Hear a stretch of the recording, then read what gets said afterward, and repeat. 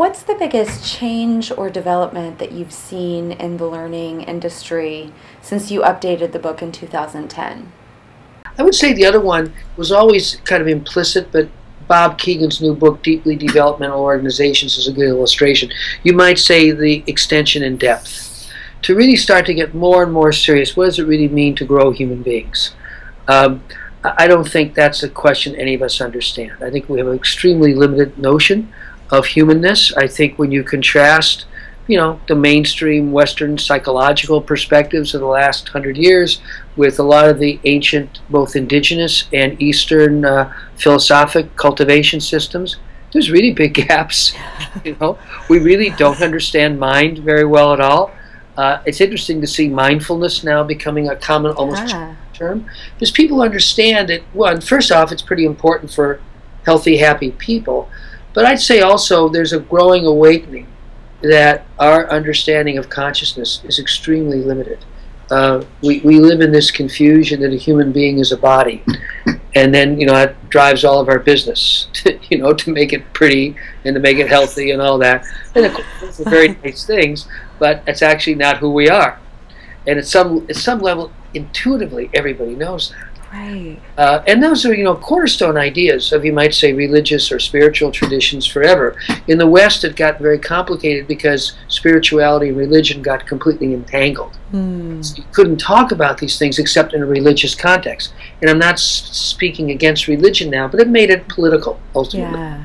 Yeah. Which, which, is what institutions, including religious institutions, do. They, they create right. uh, dynamics of power. Mm. Uh, whereas these are timeless ideas you know, the soul's journey is not a, a Western or even religious notion.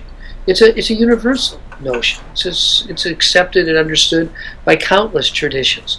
And so this deepening and finding ways to go more deeply into this domain of human development, but to do it in secular terms, to do it in non-religious terms, to do it in terms that you can even relate to science, which I think has been a, one of the big developments of of neuroscience in the last 20 or 30 years. People are now able to talk about, you know, aspects of our emotional state and our, our, our emotional well-being in ways that correlate with neural configurations.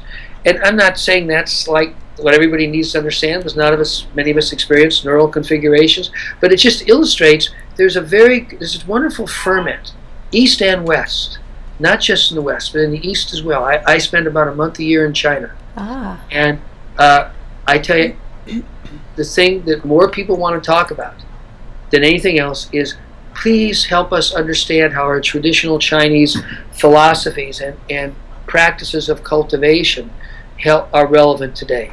We're, we're, we're trying to rediscover who we are.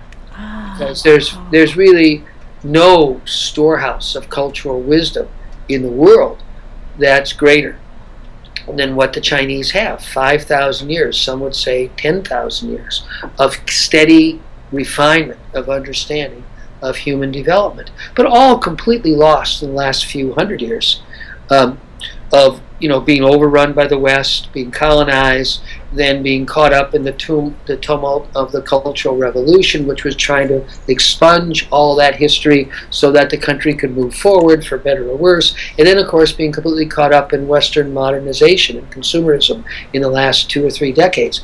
So as the Chinese say, we've had a few tough centuries. but they have the benefit of a fairly long time perspective. So for them, it's just a few tough centuries, but they have lost a lot.